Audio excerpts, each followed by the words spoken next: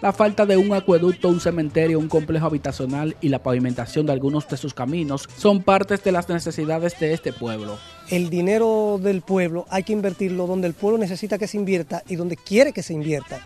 A veces nuestros profesionales se gradúan aquí, pero tienen que mirar a otro pueblo porque no pueden dar eh, los conocimientos adquiridos de la comunidad. Todo pueblo tiene precariedades en el deporte, también nosotros somos un pueblo así, pero nosotros nos mantenemos siempre en lucha, mirando porque los jóvenes estén cerca del complejo.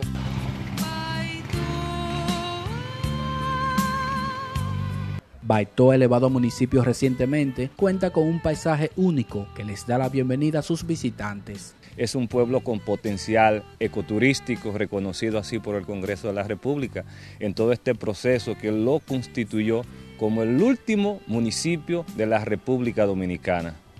Baitoa, por supuesto, se caracteriza por el encanto de sus bellas mujeres y el talento dado a conocer a nivel mundial de sus habitantes talento que en varias ocasiones se ha puesto de manifiesto a través de las producciones cinematográficas que han sido rodadas en este pueblo.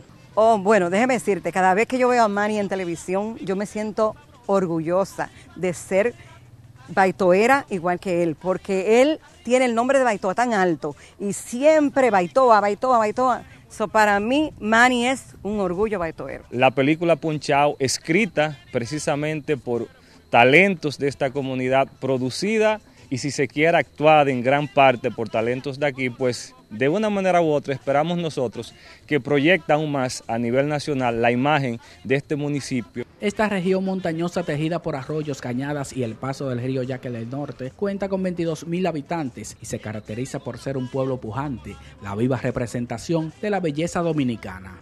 Cuando se va a eh, elegir la reina, muchas veces no se sabe a cuál escoger de tanta muchachita linda que hay hay este, dificultades en elegir. Dilcia Pineda, un orgullo baitoero. Eh, ella fue nombrada jueza de la Suprema Corte en el condado de Queens, en Nueva York y para nosotros fue un orgullo. Esta hondonada pero fértil zona situada al sur de la ciudad, a la que llamaron Baitoa por la presencia de aquellos frondosos árboles, vive de las remesas y la agricultura. Sus primeros pobladores llegaron en el 1840. Fue una familia de origen español de apellido Pineda. En Santiago, Junior Marte Noticias SIN.